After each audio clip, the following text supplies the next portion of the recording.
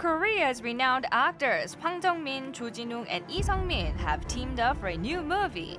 They're known for their powerful and rich performances, and their acting stands out in the new Korean spy thriller, The Spy Gone North. 안기부 스파이 흑금성이고요. 어, 이름은 박석영입니다. 네, 반갑습니다.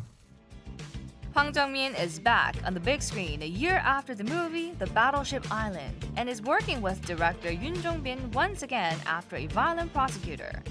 Hwang Jung-min decided to star in The Spy Gone North as it's based on an actual incident.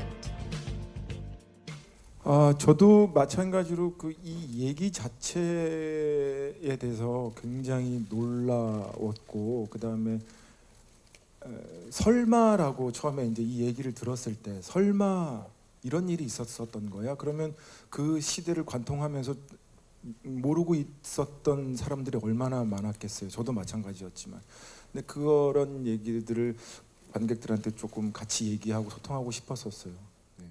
어, 우선 음, 박석영으로서의 어떤 삶과 그 다음에 흑- 흑금성이라는 그러니까 대북 사업가로서의 삶과 스파이로서의 삶이 좀 정확하게 관객들한테 보여줄 수 있게끔 좀 노력을 했던 것 같고요.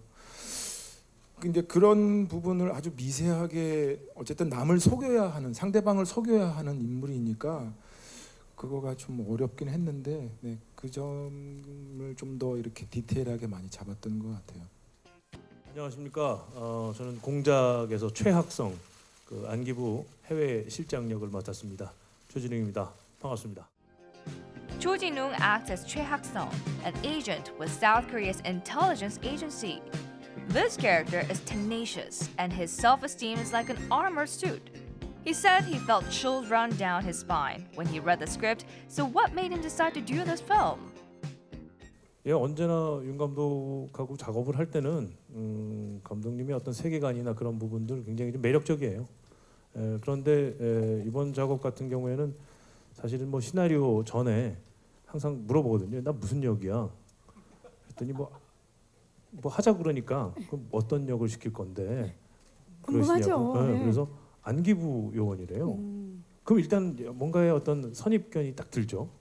에, 그래서 시나리오를 봤더니 어, 이거는 시나리오 이야기가 아니라 안기부 기획실장으로서 무슨 보고서를 받는 느낌이었어요. 그 정도로. 예, 그만큼의 어떤 브리핑이 잘 돼 있고 그래서 저도 뭐 선배님 마찬가지로 야 이게 정말 실화였다면 야 이거는 에이 설마 하면서 근데 제가 안기부라고 얘기를 들어서 거기에 대한 책을 묻는데 그 부하 직원한테 보고 브리핑을 받는 듯한 그런 느낌이 그런 있어서 느낌으로. 굉장히 소름 끼쳤어요.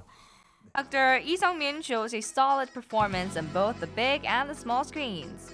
In The Spy Gone North, he acts as Lee Myung-un, a powerful North Korean director who heads the North's Economic Council and has connections to the communist government. He changed his hairstyle as well as his looks and mastered the North Korean dialect. We're sure it wasn't easy for him to play out this character. So how was it?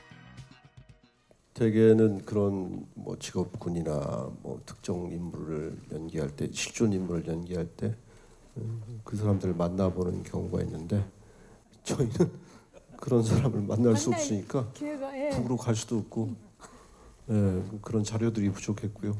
또 자문해 주시는 분 통해서 어, 그 그분들 뭐 말투라든가 어, 그들의 생각, 사상, 뭐 정서 이런 것들을 좀 많이 들었고요. 음, 그다음에 그 뭐 외모나 이런 것들은 그거는 되게 뭐 비슷하더라고요. 그 하는 뭐 그 머리 스타일이나 이런 것들은 그런 것들은 뭐 그쪽에서 도움을 마- 미용팀에서 많이 자료를 줘서 도움을 받았고 무엇보다 하면서 가장 신기한 느낌은 그 저희 제가 입었던 인민복 예, 인민복이 굉장히 편안했다는 거 옷이 Actor Chu Ji-hoon showed both the good and the bad through his past films Confession, Asura, The City of Madness, and others. He's full of versatile qualities and is like a mischievous rascal, but also fearsome like a villain. He's acting as a soldier for the first time in his career in The Spy Gone North. He's acting as Chung Moo-tae, a North Korean national security officer. The Spy Gone North is different from other spy films, which have become mainstream these days. It is based on an actual incident and boasts little action, but compensates by weaving suspense while depicting the subtle maneuverings of a fraud covert operation. 음, 실제로 뭐 저희가 이렇게 육체적으로 액션을 하거나 이런 거 첩보물이라고 하면 이제 기존 허- 헐리우드 영화들이 많이 해놓은 뭐 그런 느낌들이 있죠. 있잖아요. 근데 저희는 이게 실화를 바탕으로 한 거니까 어쨌든 상대방을 속고 속이는 어떤 이런 사람들이니까 주로 구강 액션으로 다 이 구강으로 긴장감을 유발하는 네, 그냥 말로 다. 구강 액션. 네. 우리말로 입씨름.